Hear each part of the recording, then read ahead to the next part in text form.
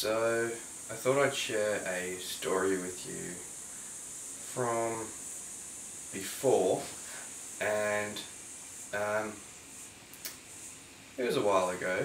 Um, Andrew, my friend Andrew, and I uh, went to see a concert um, that my other friend Lewis wanted us to go see. Well, yeah, we'll go see a concert. It was a metal concert, which is not really Andrew or my kind of vibe, but um, anyways, we're like, Lewis wants to see it, let's go. It was Lewis's mates. Um, but yeah, it was a metal concert.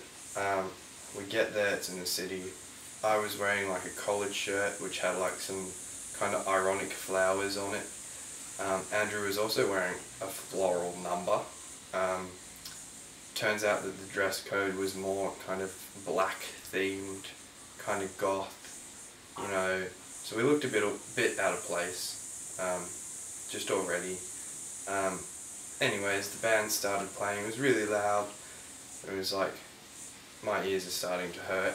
Is this what tinnitus is?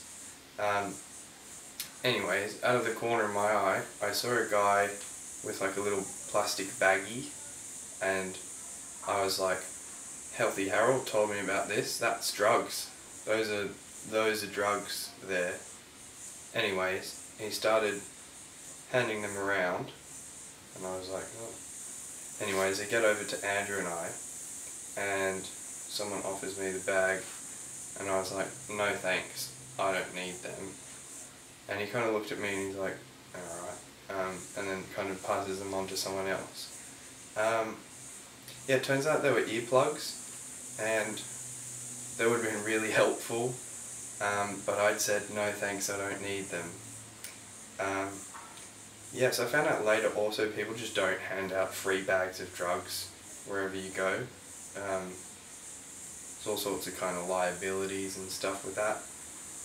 But um, yeah, I kind of hope you learn from my mistake. Um, and also, yeah, thanks for listening. If you enjoyed that story, there's probably something wrong with you and you should go to a doctor.